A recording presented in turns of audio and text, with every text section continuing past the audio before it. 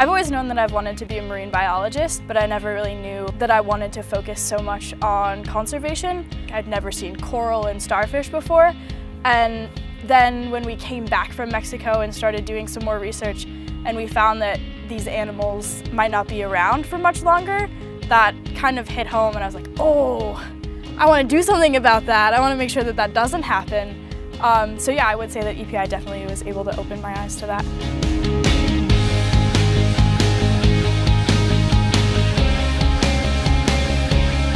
EPI partners students with scientists on conservation projects and we do that because we want to inspire the next generation of conservation leaders. Uh, our youth is where the future is and they are um, hold the key to our planet.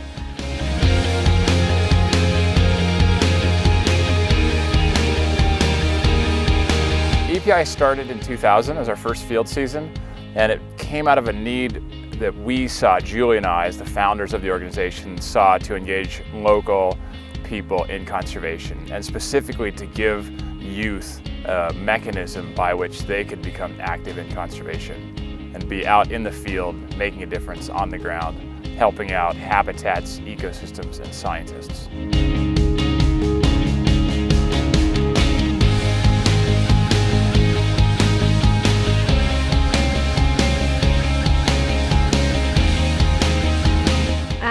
Have over 18,000 kids that have participated with EPI since we started in 2000 from six different countries, and our network's strong.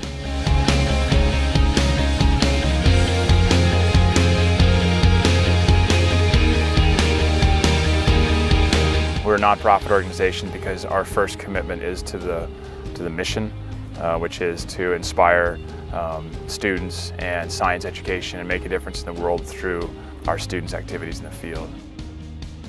Well, most of EPI students actually live near our program sites. Engaging these local, often underserved students is essential to conservation and why Scott and I started EPI.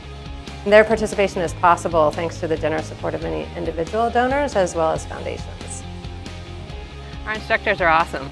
they, uh, they come from a, an incredible wealth of backgrounds, diversity of backgrounds, um, scientists, uh, educators. Uh, they've tr traveled the world and they inspire kids like no other.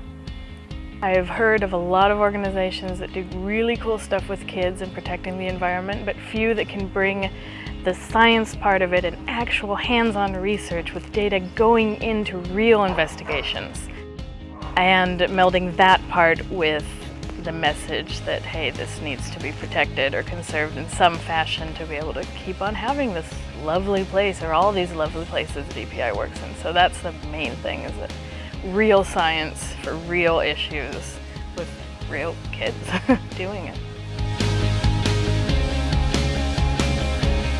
Students are not tabula rasa and the teachers are not people writing on that tabula rasa, but they're beings with infinitive, infinitive imaginations and creativity and ideas and potentials and talent.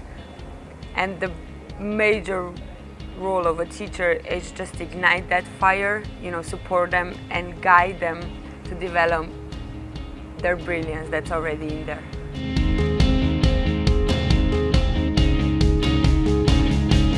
Well, kids can stay involved in, in lots of ways. You know, they can connect with EPI through our alumni network. Um, we have a leadership award they can apply for if they want to start their own conservation project or further their own education. Um, they can become instructors, you know, if that's a, a, passion of theirs.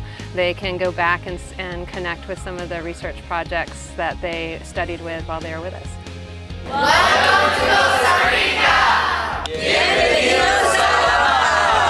So I think that conservation is really important um, so that our next generations can be able to experience these different kinds of things and see um, how cool the world is.